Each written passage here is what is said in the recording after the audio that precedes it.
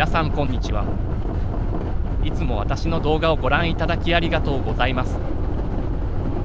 大阪メトロ千日前線の南辰巳駅の電車に乗車しています。千日前線の南辰巳駅まで乗車して大阪メトロ千日前線の延伸構想についてその情報を皆さんと共有いたします。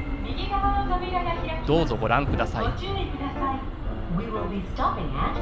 大阪メトロ千日前線は大阪市福島区の野田阪神駅から大阪市生野区の南辰巳駅までを結ぶ鉄道路線です。正式名称は高速電気軌道第5号線と称しラインカラーは1000日前のネオンサインをイメージしたピンクです。路線距離は 12.6km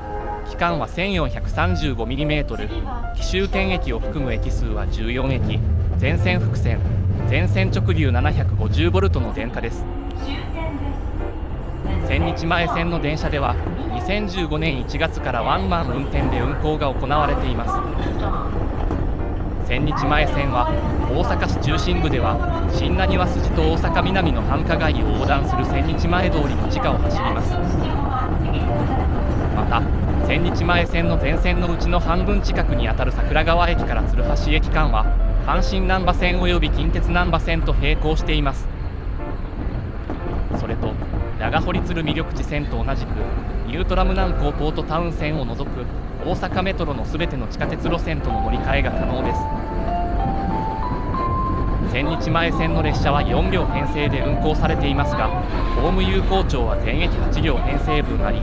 列車の停車しない部分には固定柵が設置されています。また大阪メトロで初めて全駅に LCD の発車表が設置され2014年に全駅で可動式ホーム柵が導入されました。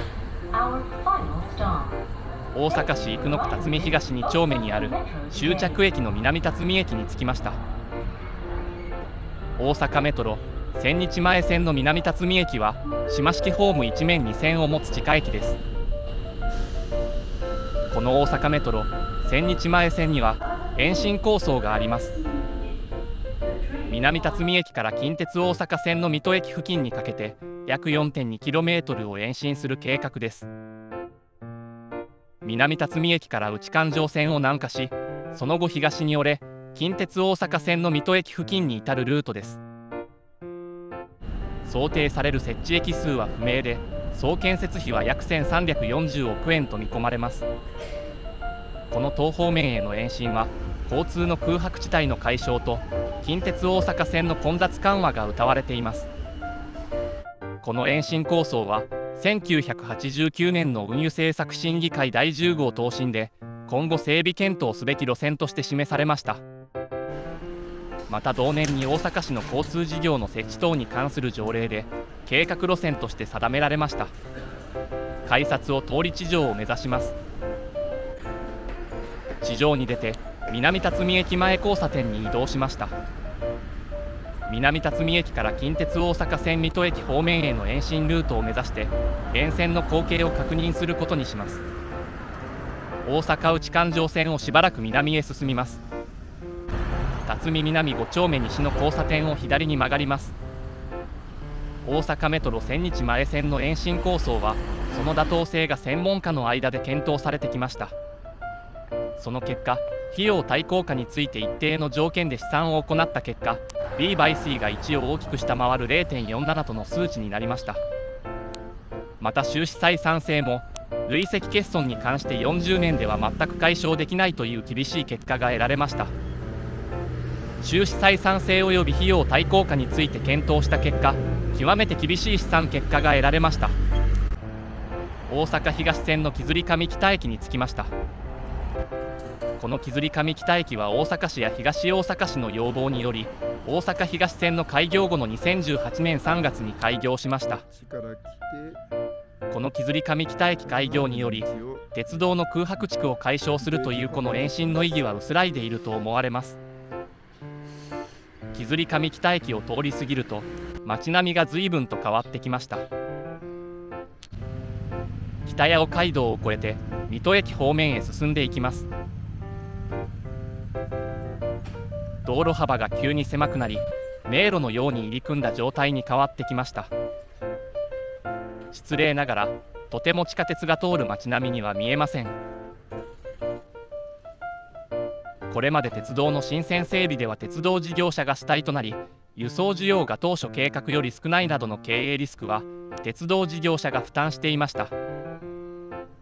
人口の減少高齢化の進展など厳しい経営環境下旅客輸送収入が減少傾向にある中で鉄道の新線整備による運営リスクを鉄道事業者だけで負担することは困難な状況になっています。欧米先進諸国では鉄道も道路と同様に公的な都市基盤施設として位置づけられ鉄道インフラの建設維持管理のみならず鉄道の運営に対しても公的資金が投入されています。しかしながら大阪メトロ千日前線の近鉄水戸駅方面への延伸計画に関してはその考えに基づいても実現するべき計画ではないと思われます。このように南辰巳駅から水戸駅方面への延伸構想は実質的に廃案となった構想と思えます。近鉄大阪線の水戸駅を後にして南辰巳駅の南の内環状線にある辰巳南5丁目西の交差点に戻りました。大阪メトロ千日前線には実はもう一つの延伸案があります。それは南辰巳駅から大阪メトロ谷町線の平野駅方面へ南へ延伸するルートです。大阪メトロ平野駅まで行きそのルートを確認します。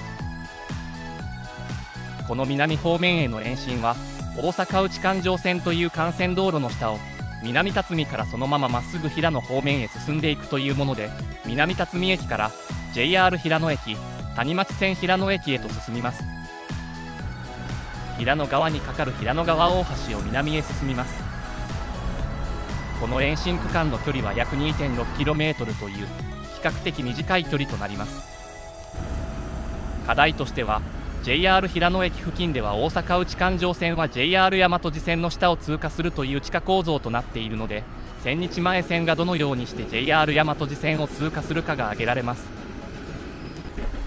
JR 大和路線は奈良県のベッドタウンの開発により利用者が年々増加しています。千日前線が JR 平野駅と接続することで JR 大和路線と大阪南の千日前線の各駅や今里筋線へのアクセスが大幅に改善されます。乗り換え回数や所要時間が短縮でき天王寺駅などの混雑の改善が見込まれます。